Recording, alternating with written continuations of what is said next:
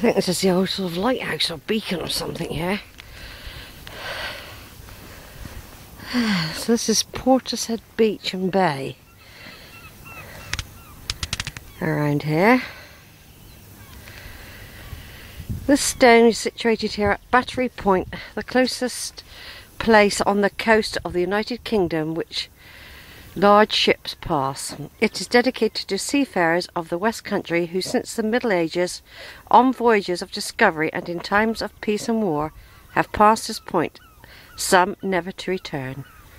Oh, hear us when we cry to thee for those in peril on the sea. Erected by the Merchant Navy Association on North Somerset Branch 2005.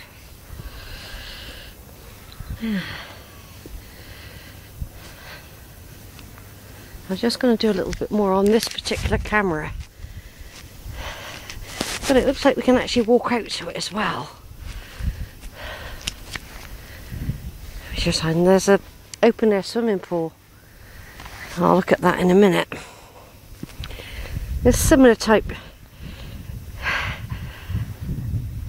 geology to Sandpoint and that where the ground's been thrown up during earth movements and laid look, at angles.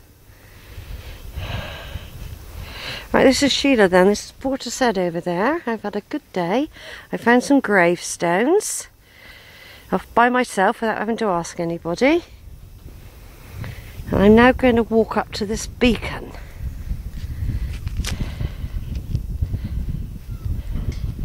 I presume we can walk on it. It doesn't got it doesn't say you can't. But this has guided people to safety, this beacon. I don't know if it still works. I expect it does. I expect it does. The fog siren is remotely operated and can sound without prior warning.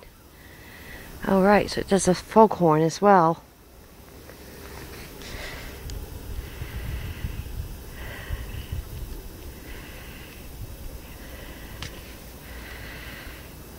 I don't know what that little island there is.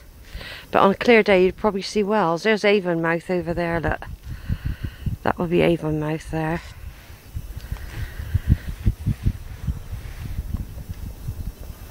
Is just a little video I'm doing as part of my visit to Portishead.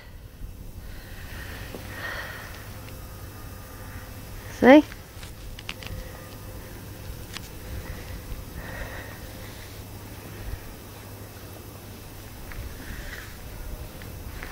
I said I've got to turn this one off in a minute, this um, camera, because um, the battery must be getting low now. I've used it quite a lot, but it is my best camera.